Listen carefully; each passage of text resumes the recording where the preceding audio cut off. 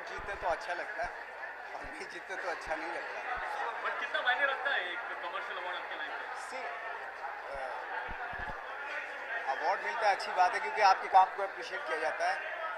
अगर नहीं भी मिलता तो इतना ज़्यादा वो डिप्रेशन में या फ्रस्ट्रेशन में नहीं जाना चाहिए क्योंकि मंजिलें और भी होती हैं है ना? और मेरे लिए इम्पोर्टेंट है कि आप काम करते रहें लोग अप्रिशिएट करेंगे। आपको आपके काम को ज़रूर सराहेंगे। वो चाहे अवार्ड से हो या ऑडियंस से हो या जो भी आपके फ़ैन हो।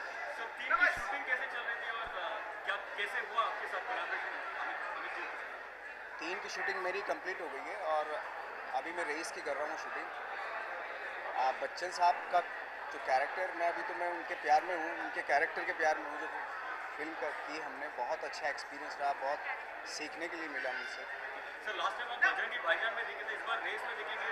खबर है कि रेस और सुल्तान का शायद क्लैश हो सकता है बॉक्स ऑफ़िस में तो क्या यार कहना ये, तो प्रोड्यूसर से ही बताएँगे मुझे तो ज़्यादा आइडिया नहीं है। मतलब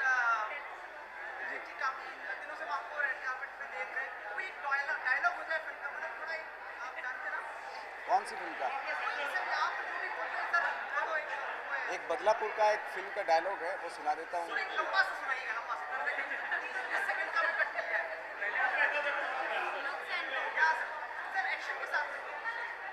एक वो डायलॉग ना जो बालकनी पे होता है वो। तो वो ये है कि मैं खूनी हूँ, मर्डर मर्डर किया है मैंने। अगर इसको हाथ लगा दिया ना तो फिनिश कर दूँगा गुड नाइट क्या हो जाए?